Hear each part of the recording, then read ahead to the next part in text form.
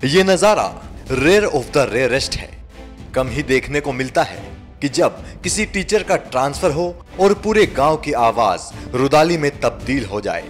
अवनीश यादव नाम के ये टीचर इन बच्चों के लिए उस किताब की तरह है, जिसके हर एक पन्ने से दुनिया की नई तस्वीर झांकती है। कोई इसे टीचर का तबादला बता रहा है, कोई भाई का तबादला बता रहा है तो कोई इसे एक बेटे का तबादला कह रहा है। पूरा गाँव इस टीचर को स्टेशन तक विदा करने के लिए भी निकला था।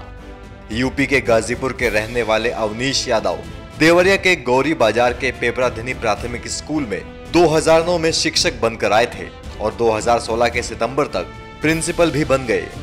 अवनीश के साथ साथ गाँव वालों के लिए भी ये एक खुशखबरी थी, लेकिन गाँव वालों की आँखों में उस वक्त अश्रु गंगा बह निकली, जब उन्हें पता चला कि अवनीश का तबादला किया जा चुका है।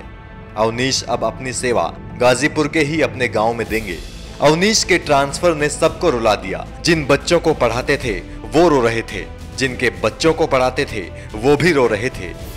छह साल उन्होंने इस गाँव के स्कूल में गुजारे, लेकिन छह साल में ही उन्होंने जो किया, वो एक नजीर बन गई। लोगों के लिए ये शिक्षक थे, दोस्त थे, हमराही थे, हमदर्द थे। अगस्त 2009 में, जब अवनीश यहाँ शिक्षक बनकर आए थे तो यहाँ पढ़ाई बस एक मज़ाक था। न बच्चे आते थे और ना ही पढ़ाई होती थी। ना कोई उम्मीद थी, लेकिन उनके आने के बाद धीरे धीरे लोग जुड़ने लग गए।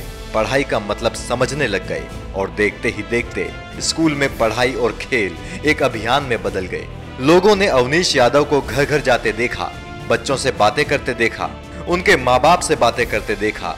पढ़ाई के लिए जागरूक करते देखा और छह साल में अवनीश ने गाँव में पढ़ाई के पूरे कैनवस को ही बदल डाला।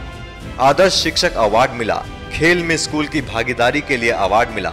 स्कूल में पुरस्कारों की झड़ी लग गई थी, क्योंकि अवनीश यादव छात्रों के लिए रास्ता भी बन चुके थे और मंजिल भी।